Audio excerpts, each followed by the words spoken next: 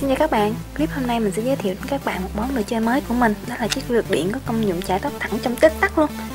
Máy có màu hồng dễ thương miễn bàn rồi.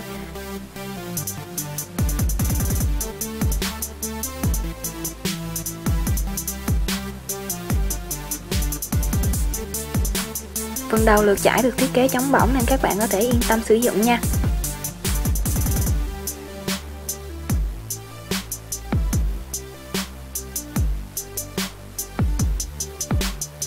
Máy có ba nút bấm, đó là nút nguồn và nút tăng giảm nhiệt độ tùy chỉnh nha.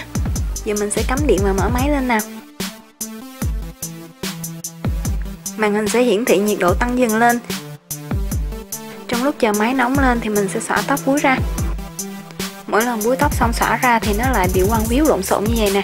Không theo nếp chút nào. Khi máy đã nóng 180 độ thì mình chỉ cần dùng lượt để chải tóc như bình thường thôi. Vậy là đã thẳng rồi đó. Ở đây mình thích tóc hơi cúp vào một chút nên mình sẽ chải ngược từ trong ra. Khi chải tới gần đuôi tóc thì xoay lượt đưa tóc theo hướng cúp vào.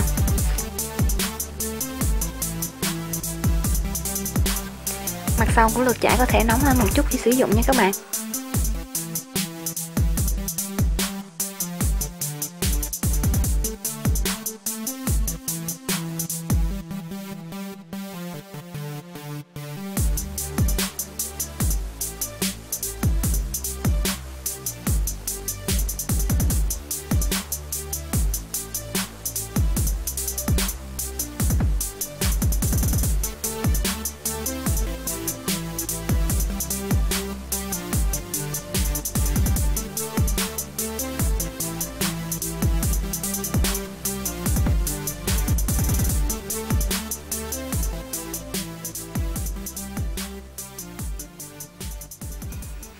Cực kỳ dễ sử dụng đúng không các bạn?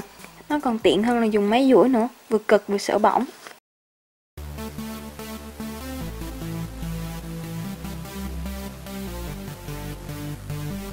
Chỉ cần trả lần lượt như vậy đến hết tóc thì chỉ mất khoảng vài phút thôi.